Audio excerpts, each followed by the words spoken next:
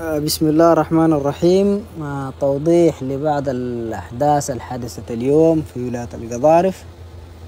آه، إن الشرطة قامت باستخراج النازحين من المدارس ومن الداخليات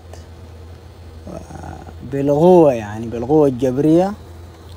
وتأكدنا من الكلام ده يعني صحيح ومن بعض الأساتذة يعني الناس بثق فيهم تماما إنه فعلا الكلام ده حصل.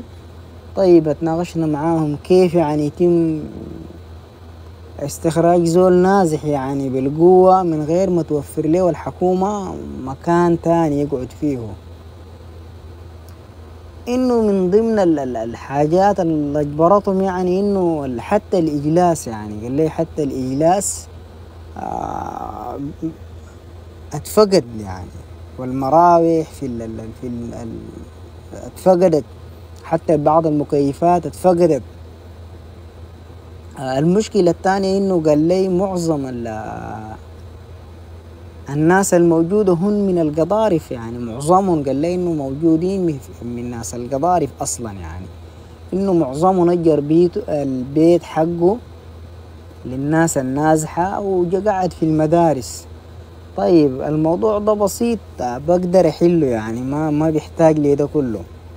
بجي بحلف الناس دي باختصار بجي بحلفهم إنه أي زول ما من الولاية تجي تحلف إنك إنك نازح تقعد. ما نازح من الولاية ترجع تمشي تشوف بيتك. يعني بس تحلف لي إنك أنت في الولاية ولا ما من الولاية. في الولاية خلاص حتى لو ما عندك بيت مستأجر عندك بيت المهم تتصرف نازح الحكومة تشوف لك مكان.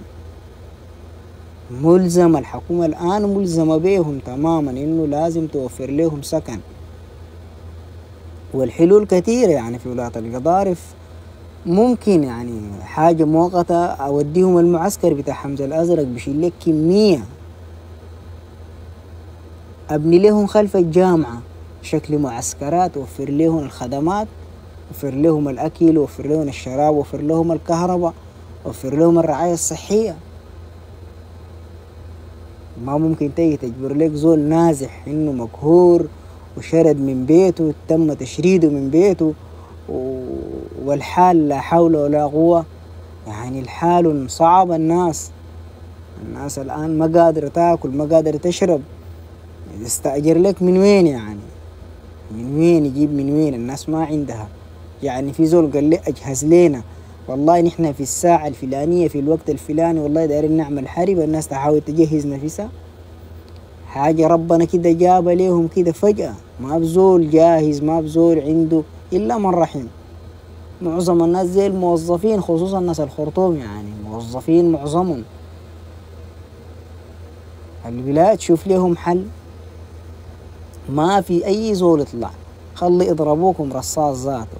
ما في زول يطلع من ال من المؤس من المكان الموجود فيه وأي مؤسسة أو مرفق حكومي ما تطلع منه. خلي يقتلوك جوا بدل يقتلوك الجنجيد خلي تقتلك الحكومة. يعني الحاجة ذات تحير يعني تحير. كيف يطلع لك مواطن؟ ما تقول لي تعتذر إنه الزول ده من الولاية أو في سرقة أو أو أو. السرقة حتحصل وحيعيشوا حياتهم الطبيعية يعني في أحداث بتحصل لكن ما كلهم حيكونوا بيسرقوا كلهم مستحيل طبعا. الوالي ملزم يوفر لهم سكن في داخليات عايز تفتح الجامعات أمشي أفتح لهم خلف الجامعة دنيا خلا. أفتح لهم هناك معسكر يقعدوا فيه. أفتح لهم خلف مباني الجهاز بهنا الواطة كلها خلاص صقيع. ما من قل الأرض ولا من قل المساحة أعمل لهم حاجة مؤقتة كده. ما تجي ترمي لك كمية من الناس آه، بغض النظر عن الحاجة الفعلوه شنو. أول تشوف حل أنت مع حكومة أنت دولة قادر يعني. القادر الله لكن برضك أنت كحكومة قادر تعمل. والآن ولاية القضارف فيها خير. الآن موسم الحصاد. آه، ديوان الزكاة ده متكفل ديوان الزكاة قادر يكفي السودان كله فما بالك بنازحين شوية نازحين في ولاية يعني الولاية كلها فيها كم هي؟ ما في أي عذر إنه الناس ديل في رقبة الوالي. باختصار شديد الناس ديل في رقبة الوالي.